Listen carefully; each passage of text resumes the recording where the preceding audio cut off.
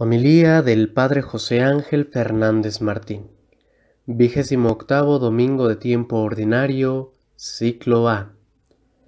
Después de haber reflexionado los domingos anteriores acerca del reino de los cielos con las parábolas de las viñas, ahora el Señor asemeja el reino con un banquete de bodas que un rey preparó para su hijo.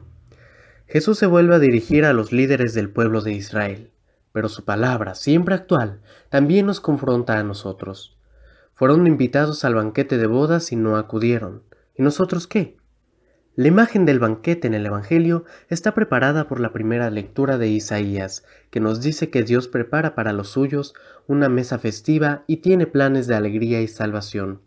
Por tanto, la palabra de Dios de este domingo nos quiere decir muchas cosas con esta alegoría o comparación del banquete. El alimento es de vital importancia. Debemos comer para vivir y no vivir para comer. Varias veces al día se siente el hombre a la mesa para tomar la comida, en la intimidad familiar o en un banquete oficial.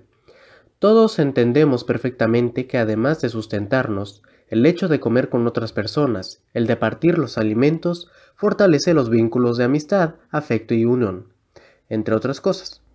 Hay comidas comunes ordinarias, así como extraordinarias o festivas, cumpleaños, graduaciones y por una ida o, regreso de alguien, un triunfo, logro laboral, deportivo o académico, etcétera, etcétera. El ser humano es festivo. Pero la comida puede también tener carácter sagrado. Lo vemos desde las religiones paganas hasta la Biblia. Puede uno sentarse a la mesa de los ídolos y unirse con el demonio o arrodillarse a la mesa del Señor. Este es el telón de fondo de la invitación insistente que Dios nos hace para que no lo despreciemos. No debemos contentarnos al pensar qué mal hicieron los contemporáneos de Jesús. Tenemos que aplicarnos la lección y pensar si nosotros, cristianos del siglo XXI, acogemos mejor que ellos esa invitación a la fiesta. El cristianismo lo debemos vivir con una mesa festiva, como nos dice hoy en el, hermoso Salmo 22. El Señor es mi pastor, nada me falta, Él mismo me prepara la mesa. Es interesante fijarnos en las excusas aducidas por los invitados. Se trata de obstáculos que generalmente impiden la aceptación del reino de Dios y que se reducen a los bienes materiales, a la profesión o negocios y a la familia. Son cosas en sí buenas, pero que pueden convertirse en absorbentes. Jesús personalmente renunció a todas ellas para poder dedicarse con toda libertad al servicio del reino. Por tanto, es deber esencial responder a la invitación de Dios. No puede uno conducirse a este respecto como el hombre del mundo que no mira más que sus conveniencias personales para aceptar o rehusar una invitación. Cuando Dios llama a entrar en su reino, los pretextos, incluso de apariencia buena, no podrán excusar una negativa que en el fondo es una ofensa. Se debe optar por Dios, se debe acudir a la hora que Él indica. Si uno no lo hace, la invitación divina se dirigirá a otros. Jesús es nuestro pastor y de mil maneras nos invita a seguirle, pero no quiere obligarnos a ir contra nuestra voluntad. Y aquí está el misterio de la libertad de cada uno y del mal. Los hombres podemos rehusar este ofrecimiento. Lo sorprendente es que aquí Dios no pide nada, nada exige. Él ofrece todo y es rechazado. Dios nos ofrece su palabra, los sacramentos, la gracia, la santidad y la salvación, y muchos no aprovechan o nada quieren. ¿Cuántos pretextos tontos para no venir a misa? Al final de la parábola hemos visto cómo el rey cuando entró a saludar a los convidados vio entre ellos a un hombre que no iba con el traje de fiesta y lo mandó sacar castigándolo. Era una usanza en aquellos tiempos de facilitar o dar todo a todo invitado una túnica especial para participar dignamente en un banquete festivo. Entonces, ¿por qué el rey manda expulsar a este invitado? Porque sigue con el mismo vestido no se ha convertido. Para entrar en el reino hay que convertirse, practicar la justicia, revestirse de Cristo. La enseñanza es clara, la pertenencia a la nueva comunidad, el ser cristiano, no exime del peligro de ser también excluido del banquete si uno no sigue el camino del Evangelio.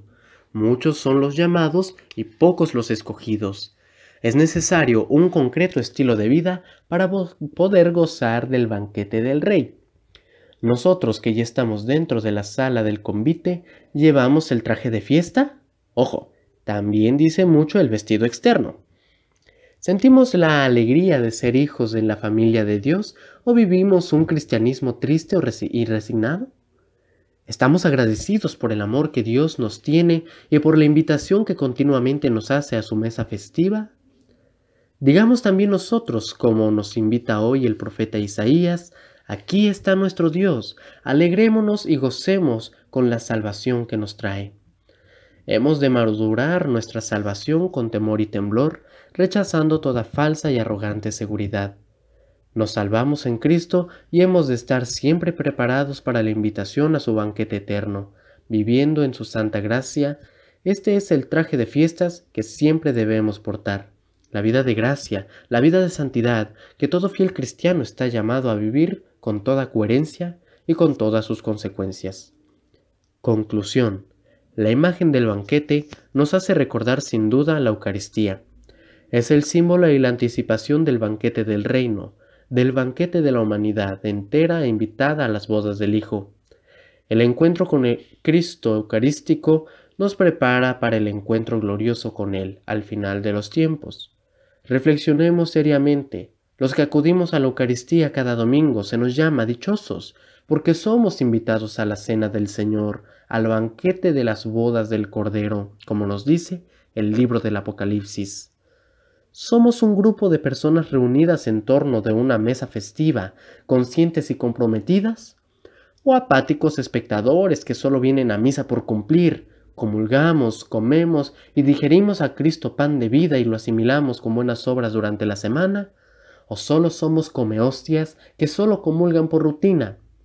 Pidámosle al Señor que nos ayude a aprovechar este banquete eucarístico. Que así sea. Te manda saludos el Padre Ángel y un servidor de Cheque el Dato Católico.